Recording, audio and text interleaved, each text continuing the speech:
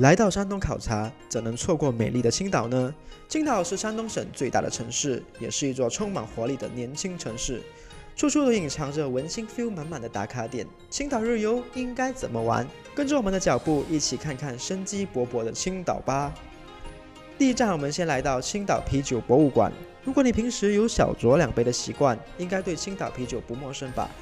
在走进啤酒馆之前，我们先在充满欧洲风情的啤酒街穿梭。走入啤酒博物馆，犹如走入一座时光隧道，了解从古至今啤酒的生产过程。当然有多个拍照打卡点。参观结束后，还有机会品尝不同种类的青岛啤酒，每一种都有不同的口味和口感。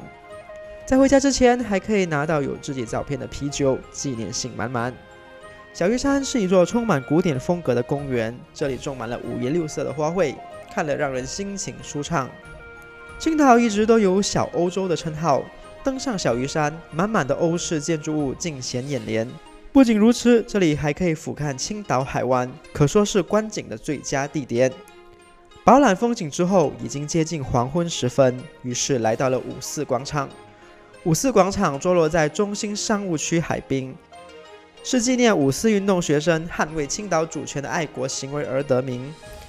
来到这里，一定不能错过五月的风。在这里欣赏美丽的日落时刻，实在是人生的一大享受。